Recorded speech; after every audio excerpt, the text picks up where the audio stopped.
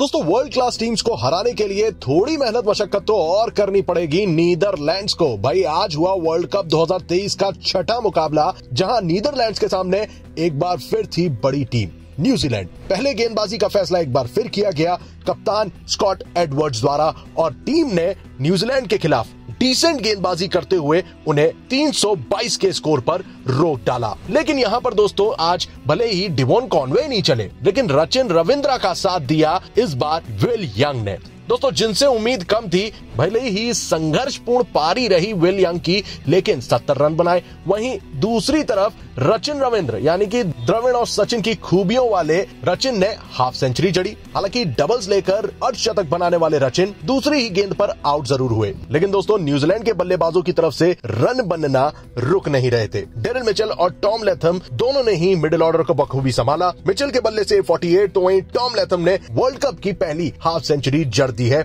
With 53 run यहाँ पर दोस्तों लोअर ऑर्डर में मिचेल सेंटनर की 17 गेंदों में 36 रनों की पारी ने न्यूजीलैंड का स्कोर 322 तक पहुँचाने में अहम भूमिका निभाई थी। वहीं नीदरलैंड जिन्होंने पहले गेंदबाजी करने का फैसला लिया, एक बार फिर Aryan Dutt, Paul van Meekeren और वैंडर मर्वी के हाथ दो दो विकेट लगे। वहीं पिछले मुकाबले में उमदा गेंदबाजी करने वाले बस दलीदी ने एक विकेट अपने खाते में जोड़ा। 323 के विशाल का स्कोर के सामने नीदरलैंड को झुकना तो था ही, लेकिन कॉम्पिटेटिव फाइट देनी बेहद ज़रूरी थी, क्योंकि टीम में यहाँ पर टॉप ऑर्डर के न चलने के बावजूद कॉलिन एकरमैन इस बार 69 रन बनाने में सक्सेसफुल हुए। विक्रमजीत सिंह, जिनसे उम्मीद थी रन स्कोर करने की, वो 12 रन बनाकर पवेलियन लौटते हैं। बेस्ट दलीदी भी इस बार 18 रन बनाते हैं। लेकिन मिडिल ऑर्डर में तेजा निडा, मनूरू, इक्कीस, स्कॉट एडवर्ड, तीस और साइब्रांट ने उनतीस रन बनाए और मिडिल ऑर्डर को संभालने की कोशिश ज़रूर करी। लेकिन मैट हेनरी और मिचेल सेंटनर की उम्दा गेंदबाजी के सामने नीदरलैंड्स की एक नहीं चली, जहाँ मिचेल सेंटनर ने धाकड़ बल्लेबाजी के साथ साथ दोस्तों वर्ल्ड कप में अपना पंजा खोला है। तो वहीं